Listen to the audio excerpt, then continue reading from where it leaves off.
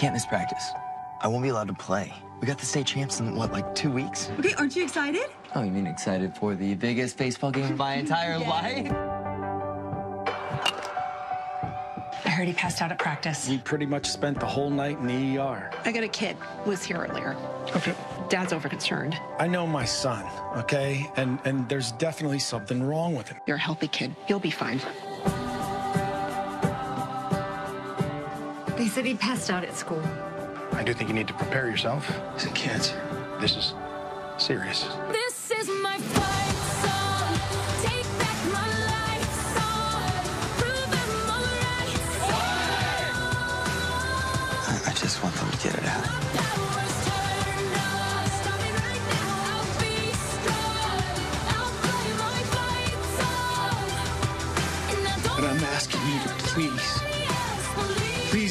my son. Dad, Yeah, bud. we're gonna die. Prayed for a miracle. might only have one match, That's what we need to do. but I can make an explosion. My trust in God. Put you trust in God. Like a miracle. There's no such thing as miracles, honey. Listen, the kingdom of God is never meant to be a spectator sport. The only way you win a game is by actually getting on the field and fighting. And this is our field of faith. This is our moment to believe that what we read is actually real, that his word is more real than what we feel. I've still got a lot of fight left in me. Love you, Dad. The incredible story of how one man's battle against brain cancer brought an entire community together. The Miracle at Manchester is not only an amazing foundation, but the story is now being told through a film. And I have some of the cast with me this morning, as well as Bryce Newman, who this entire story is about. Lauren Owen plays Riley in the movie, and Nick Vila, who plays Miles Himmel. Thank you all for being here. We so appreciate you being here. Thank you for having us. This is a, an incredible story, and Bryce, it's all about your life and, and truly the power of prayer and, and a miracle. Can you, can you tell us a little bit about your journey? Yeah, so I was uh, I was diagnosed with uh, brain cancer in 2015, um, the summer going into my sophomore year of high school. Um, you know, it was a it was a really tough time, and uh, it it kind of crashed a lot of dreams and stopped a lot of dreams of mine. Um, but I kept going, and uh, luckily, with the help of uh, my high school, I got to you know continue in high school and graduate um, with my current class and all my friends and um, attend uh, a university undergrad, UC Santa Barbara, uh, go Gauchos, and um, now I'm at uh, getting a master's degree at Texas A&M in uh, sports management. Incredible. Uh, congratulations. Thank Uh, y- You're a, truly an inspiration. You were not given good odds. Right. What were, what were the odds you were given? Uh, yeah, you're right. It wasn't good. Um, you know, after the first surgery, uh, I was okay. Um, I, I was, you know, I could, uh, I don't know, heal with time, right? And uh, they had to do another surgery. Um, it was pretty rapid after that, and um, you know, they they already went through the uh, the standard of the care. That's what they call it, which is chemotherapy and radiation, and um, they really uh, you know. Anyway, they, they didn't think I was, uh, they gave me a 5% chance of life. 5%. Yeah, it wasn't Wow. uh, not good, as you said. Yeah, yeah. and anyway, um, I'm here now, and July will be seven years Wow. anniversary, so I'm, I'm very proud about that fact. Truly a miracle and a story of survival. And a lot of it had to do with prayer, and that's a lot of, of what this, this movie focuses on. Yes, that's the, the main message, power of prayer. You had a, a lot of people that came together at once to pray for you. Yeah, it's a whole community. Mm-hmm. Uh, the, the San Diego community is awesome.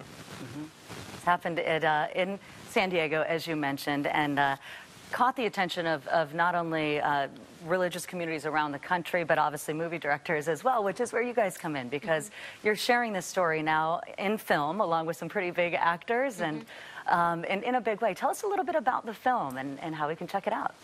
Um, so, Miracle at Manchester was created Um, about it's just over a year ago today we were filming, which is kind of weird. We're Wow. almost on the anniversary of Easter break, so that's really cool.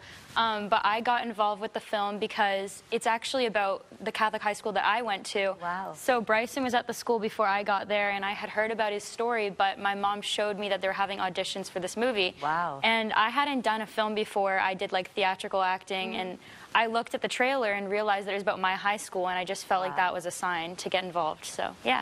Truly amazing. Mm-hmm. And, and Nick, you got involved as well. Yeah, so I'm a I'm an LA-based actor, um, originally from San Diego, and my little brother actually grew up with Bryce. That's such a So- small world. It That's really amazing. Yeah, Yeah. so I reached out as soon as I saw this uh, this film coming to life, and uh, ended up playing Miles Himmel, who's a, a news reporter based out of San Diego, who actually lost his father to cancer. Wow. Um, so he had a really you know unique uh, connection with the story that, that Bryce had.